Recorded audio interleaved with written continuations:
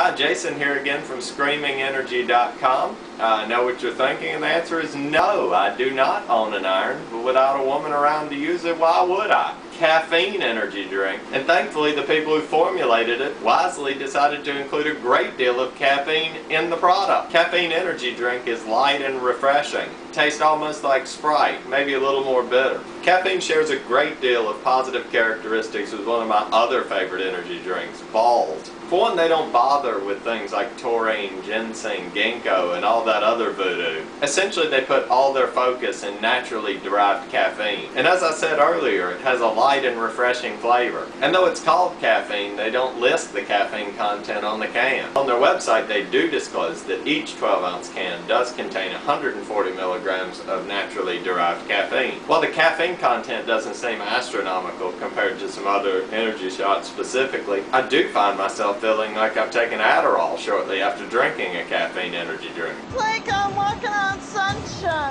I find myself staring off into nowhere, perhaps contemplating what superpowers I might have. Looking at random objects and relating unrelating things, like thinking about how the video camera that I'm using to film this might taste, or how the color purple smells, or what it would be like to live in a beehive, why my feet and palms are sweating so much, why have I started growing ear hair. Caffeine comes in a 12 ounce can and has a manufacturer's suggested retail price of $2.29 which I think is a value. We at Screaming Energy would like to thank our advertisers, Dynapep, the world's first supercharged energy micro shot, and Power Brands.